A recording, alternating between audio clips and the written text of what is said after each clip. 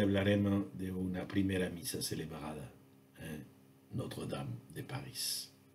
Se celebró la primera misa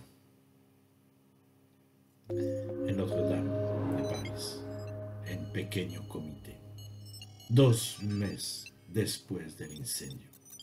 Solo una eh, treintena de personas, incluida la mitad de los sacerdotes, asistirán o asistieron al servicio de, la, de las seis de la tarde el sábado 15 de junio en la capilla detrás del coro, en un lugar seguro.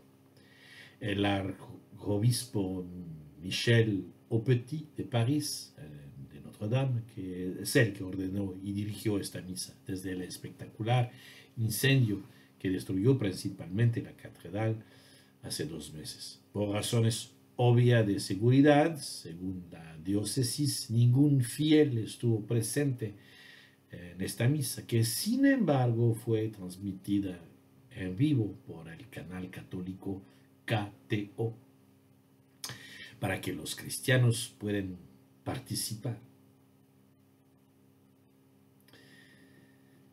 Ah, estaban presentes, además del obispo Petit, el rector de Notre-Dame, el obispo Patrick Chauvet,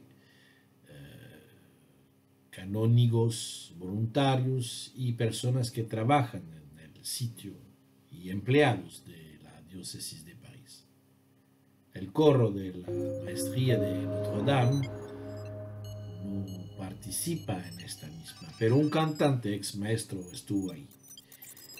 Si se solicita el uso del casco en la entrada, los sacerdotes permanecieron la ropa litúrgica habitual.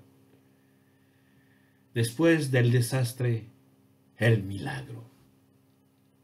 Nada, nada puede quemar la fe. Y yo veo en esta misa un signo de Dios, de esperanza y de amor. Estemos atentos y al tanto de todo.